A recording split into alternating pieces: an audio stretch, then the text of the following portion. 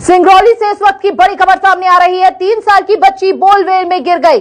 थाना बरगवा के कसर गाँव की यह पूरी घटना है। प्रशासनिक अधिकारी मौके पर पहुँचे।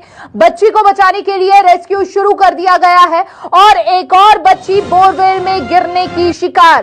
तीन साल की बच्ची बोलवेल में गिर गई।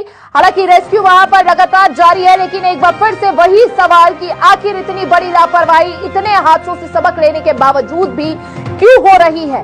प्रशासनिक अधिकारी मौके पर पहुँचे हैं और लगातार इस पूरे मामले की जाँच जारी है। फ़िलहाल बच्ची का रेस्क्यू किया जा रहा है। कुछ तस्वीरें भी सामने आई है जो हम आपको दिखा देते हैं। तीन साल की बच्ची वो बोलवेल में गिर गई।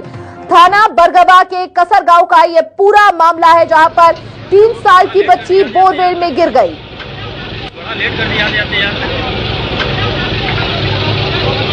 देखिए, यहाँ पर मशीनों को जेसीबी की लगा दिया गया है।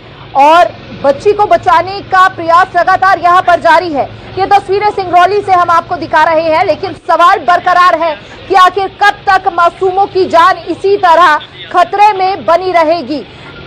ये पहला मामला नहीं है, न जाने पिछले कई सालों से कितने ऐसे बच्चे जो